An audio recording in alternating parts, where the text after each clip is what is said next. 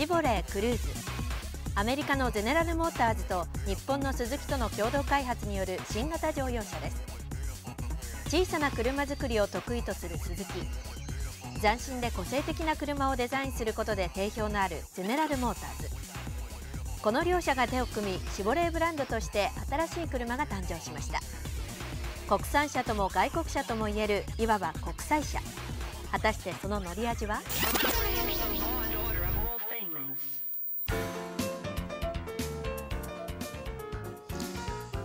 新車情報です。私は三本和彦です。田中美里です。え今回はシボレークルーズを取り上げます。えスタジオにはスズキで販売される1.3リッターエンジンの車をお持ちいただいています。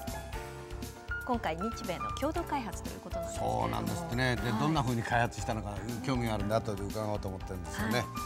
えー小さい車を作るのは確かに得意な鈴木が、えー小さな車を土台に、えーなかなかの乗り味で仕上げられたこれはどういうふうにタフユースに使えるのか例えばその山林など抹消できるのかどうかねこれも伺っておかなきゃいけないなと思ってるんですよね。はい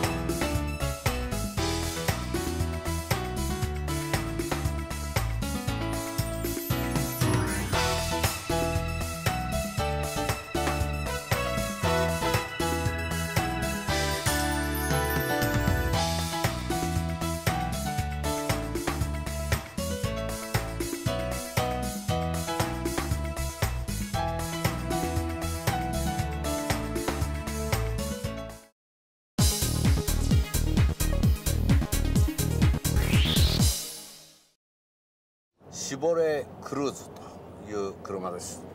でシボレーっていうからには、ゼネラルモータースのシボレーディビジョンで作っている車かと思いますとこれがまた面白いことに鈴木自動車が作った車で基本的な考ええそれも、え図面になってきたものなのかどうかわからないんですが考えはあシボレーからのオーダーで、え仕上げたという四輪駆動の車です。で今四輪駆動の状態で走っています、えーところがこの四輪駆動の成立のさせ方も極めて、えー簡単なクラッチを使いまして前輪駆動の機機構といいますかね、えーそれをベースに四輪駆動にしたもので、えー低速で走れば前輪にも後輪にも50%のトルクを振り分けるようになっていますがある速度になりますと前後輪が同じ駆動率だと燃料消費率が悪くなるというのを嫌って、えー前輪駆動により近い四輪駆動になるようになっています。じゃあ四輪駆動やめちまえと言うんだったらばこのボタンを押してやると前輪駆動になります。今は前輪駆動で走ってます。でポーンと押すと、えー 4WD オートといううん名称が出てまいりましてこれは四輪駆動になっています。で、え4速のオートマチックトランスミッション AT と組み合わせになっていまして、えー時速100キロで走るのに今あ4速部分で、えー見てみますと2000と800回転ぐらいで、えー、走っています。でスズキの開発したエンジンなんですが、えー、スズキは二輪車で高回転エンジンを作るのはもう得意にしていますんでバランスのいいエンジンで、えー、1.5リッターの排気量ながらなかなかの実力を見せてくれます。で内装の部分などを見ますとこの車は基本的には180万円前後で買える5人乗りの小型の四輪駆動車なんですが、えー、シートのヒーターもついてますし、えー、その他に、えー、ドアミラーがいてついて凍って見えなくなるとこれも危険だからというんでこれもボタン一つで、え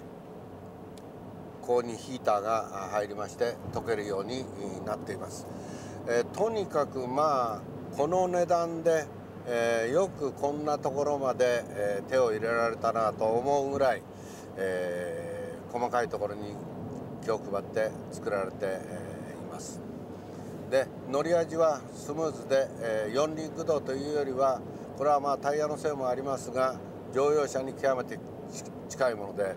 オールウェザーのようなパターンのタイヤを使っているせいかロードノイズがかなりします。今ちょっと実験的に今空想しています。流れている状態で、えー、エンジンの回転は1000回転以下です。ですがこんな音がします、えー、これはロードノイズ、えー、タイヤと路面が作る音が、え大きいからで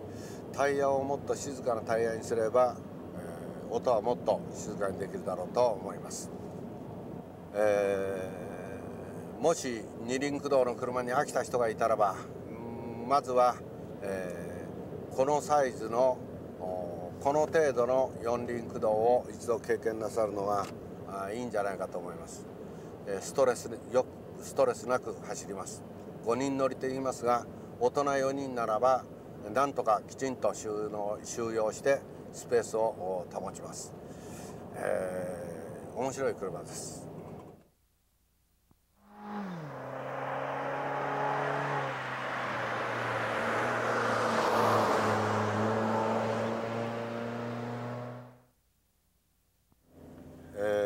クルーズを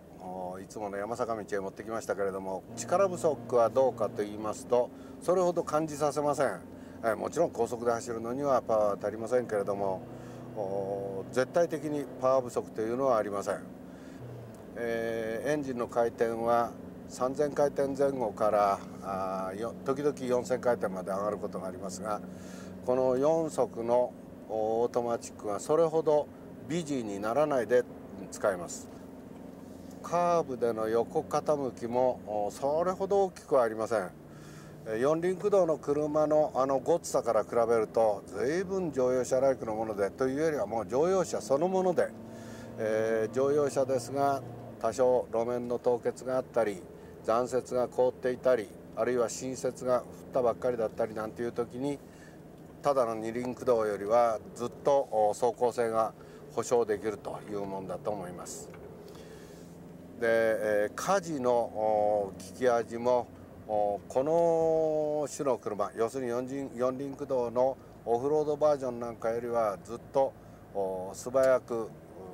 ハンドル操作に車体がついてくる感じがします。で何よりも小さいくせに、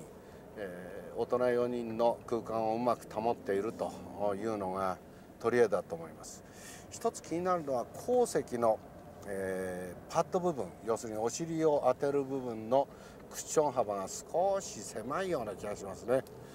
えー、もう少し大きくてもいいんじゃないかと思いますけれども、えー、しかしまあ短距離の移動100キロぐらいの移動だったらばそれほど不満は出ないかもしれません。できればスペースがあるんですから荷物を積んでいない時にはもう少し乗っている人を優遇した方がいいんじゃないかなというふうにも思われますえー、ブレーキは前がディスクで後ろがドラムという、まあ、常識的なもんなんですが後ろのドラムブレーキはもう少しサイズが大きくてもいいんじゃないかと思いますね。で、えー、タイヤをこの標準のタイヤ以外のものをつけても十分にクリアできるスペースがあるんですから、えー、もう1インチぐらい大きいドラムブレーキを使った方がユーザーが見た目にも安心するんじゃないでしょうかね。ま1.5リッターのエンジンと軽量のボディとの組み合わせそれから4速のオートマチックと4輪駆動の成立のさせ方いいバランスだと思いますね、えー、特にこの4輪駆動の成立のさせ方は実にこう微妙なコントロールがうまく自動的に働きまして、えー、気持ちよく走ることができます。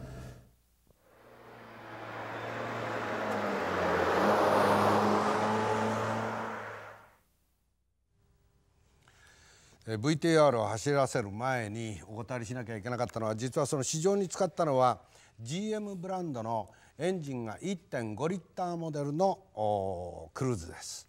えー、このスタジオにあるのは、えー、スズキのチャンネルで売られる、えー、クルーズでそれでも名前はシボレークルーズっていうんですよ。この辺りが難しいところなんですがこのクルーズでエンジンの排気量は1.3リッターです。外側から見ると全く分かりませんがえー、我々が試乗したのは1.5リッターエンジン付きのクルーズ。で、えー、スタジオにあるのは1.3リッターのクルーズとこういうふうに、えー、再認識してください。はい、では燃費と騒音の報告です。まず燃費ですが市場ではおよそ400キロを走行しましたが平均燃費は1リッターあたり11.9キロでした。そして騒音は高速道路で時速100キロの時に計測した結果67デシベルになりました。あのまあ、もっと上手に走らせようと思えばというのはアクセルを急激に開かない。それから所定の速度にいち早く達したらあとはアクセルをなるべく戻し気味に使うという使い方をすれば13キロはいけたんじゃないかと思います。えー、けれどもこう自動車の燃費というのはいろんな人が乗ってみてそれの平均でないとちゃんとしたことは言えませんので、えー、ここでは12キロにちょっと足りなかった燃費を報告しておきますそれからもう一つのこの時速100キロ時の騒音なんですがエンジン音よりはロードノイズが大きかったのでこのエンジン音だけでも消してしまおうというんだったらば、えー、何かインシュレーターを貼るあの例えばそのディーゼルエンジンの車によく貼ってある内側に、えー、こうなんかモコモコした毛布の古いのみたいなのが貼ってありますがあれを貼ればもっと静かになるんじゃないかなと思います。